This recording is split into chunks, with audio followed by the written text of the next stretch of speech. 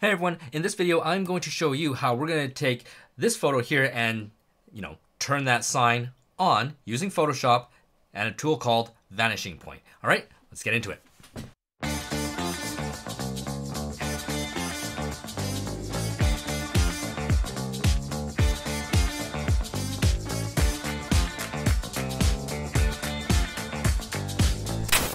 All right, first thing I'm gonna do is I'm just gonna open up that image in Photoshop and first thing that we're gonna do is we're gonna click on that background layer, right click it and duplicate the layer. And the reason I'm doing this is because I always want to be editing in a non-destructive way. So that background I'm not gonna touch. It's gonna be the original image the entire way. So I've got a copy there. Let's go into it. I'm gonna go into filter and vanishing point.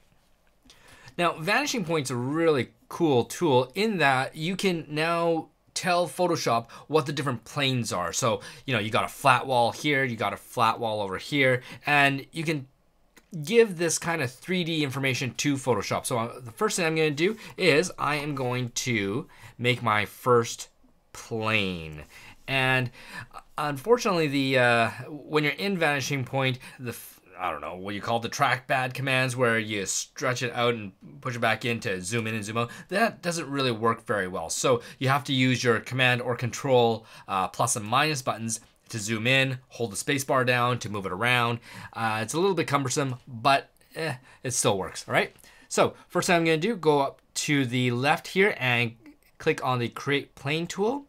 And I'm going to zoom in just a bit more by going command plus, I'm gonna hit that corner, this corner, and then command minus to get out, space bar so I can uh, scroll it, command plus.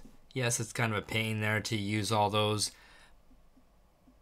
but it works. All right, now you'll see that it created a grid on that one plane. Now, because we want to uh, take what is lit up over here and push it over here, I'm going to have to create the second plane on the left-hand side. But to show that this plane here and this plane over here are connected, and now when I'm hovering over this white square, you'll see that I've got the uh, adjustment uh, tool come up first. Okay, now if I'm pushing down on the command button, all of a sudden that changes and I can then pull from there and I can create a new plane. And what this plane does is it is actually connected to the first plane. So second plane, first plane.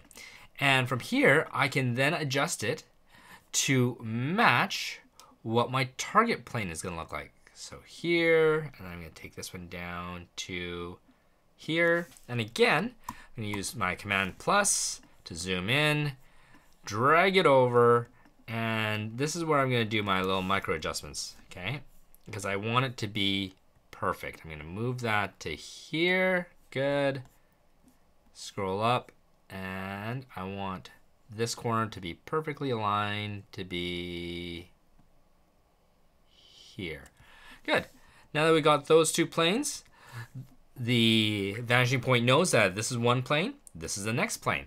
And next, select this top portion just by using the marquee tool here.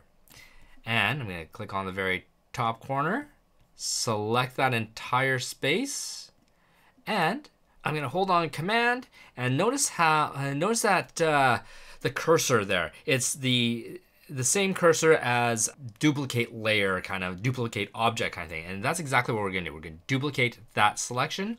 I'm going to click on it. And now you'll notice I can just drag it across the plane. And that works out really well. Except for the fact that, you know, even though the logo, the TD, they're correct, the direction of the sign is not correct, right? So I actually want to change that. And to change that, I'm going to go over to here to this tool, the transform tool. And as soon as I click on that, look up here. It's got flip and flop coming on. Now flip flips the image left to right. Now flop flips it the other way from horizontal top to uh, top to bottom. So I'm going to keep it as a flip. I'm going to zoom in again. And let me move that so it is the corners line up nicely. Good. And from here, because I'm in the uh, the transform tool, I can adjust the height, I can adjust the, the width, and everything there so it matches up perfectly. Good. Now that works. Now let's get that TD logo uh, back in as well. I'm going to click on the marquee tool again, and this time I'm just going to go over here, grab that again, command, clicking it so that it's now a different uh, layer. Gonna click on the transform tool, match it up so that it lines up perfectly there.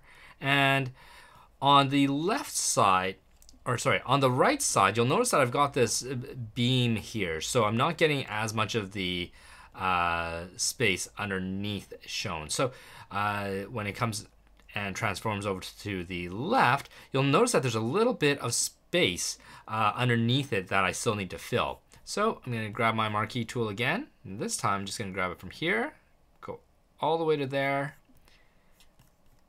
Again, I'm to duplicate it, get my transform tool, and I'm just going to expand it down.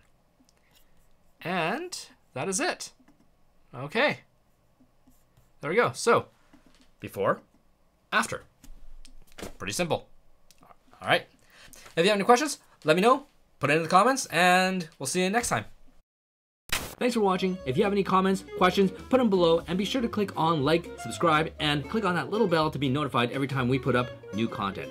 And I am happy to announce that our online real estate photography course is now done and it is ready for you. Just go to www.robmoroto.com and use a coupon code that is in the show notes here to get yourself a nice little discount. All right, see you later.